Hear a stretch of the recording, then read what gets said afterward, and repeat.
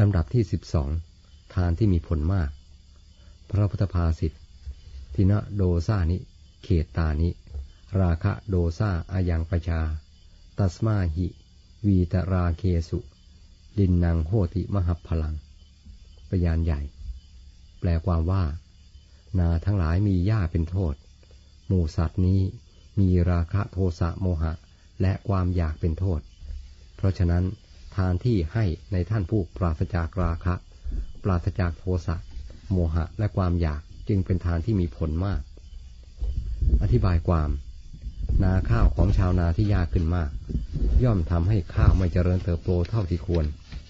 เพราะต้นหญ้าเหล่านั้นไปแย่งอาหารของต้นข้าว ชาวนาจึงต้องถอนต้นหญ้าที่งอกขึ้น ในระหว่างระหว่างของต้นข้าวออก ต้นหญ้าเป็นโทษของนาข้าวชั้นใด ราคะโทสะโมหะ และอิจฉายังเล็บความอยาก เป็นกิเลสโทษของหมู่สัตว์ทำให้บุคคลเศร้าหมอง การทำบุญให้ทานในบุคคลผู้เปี่ยมอยู่ด้วยราคะโทสะโมหะ และความอยาก ย่อมไม่มีผลมาก แต่ทานจะมีผลมาก เมื่อทำในบุคคลผู้ปราศจากราคะโทสะโมหะ ความอยาก หรือผู้ปฏิบัติตนเพื่อความเป็นอย่างนั้น ท่านจะเห็นว่านี่คือสาเหตุสำคัญที่ทำให้ศาสนิกพอใจทำบุญกับนักบวชของศาสนานั้นๆ พุทธศาสนิกก็พอใจเต็มใจทำบุญกับพระภิกษุสงฆ์เพราะเชื่อว่าท่านเป็นผู้มีราคะโทสะโมหะน้อย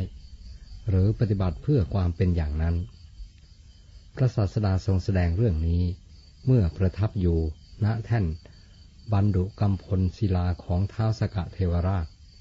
ทรงปรารบอังคุรเทพบุตรมีเรื่องย่อดังนี้ เรื่องอังกุรเทพบุตร เรื่องนี้มีพิสดารแล้วในเรื่องยมกปาฏิหารแห่งพระคาถาว่า เยชานะชานับปัสุตาทีรา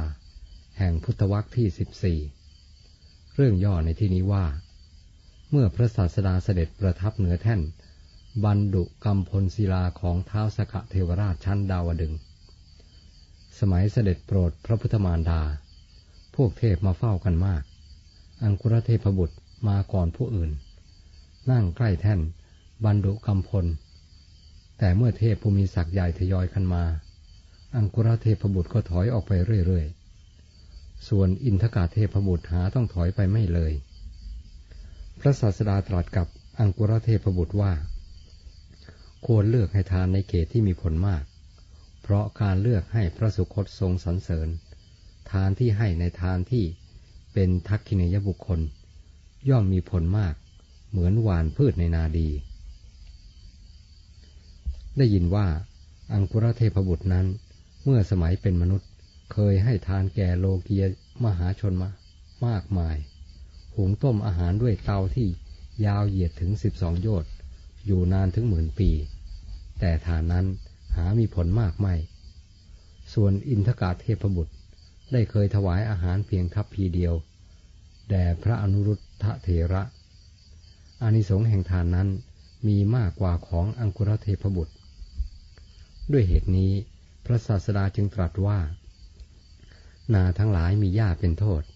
หมูสัตว มีราคะเป็นโทษ เป็นอาทิ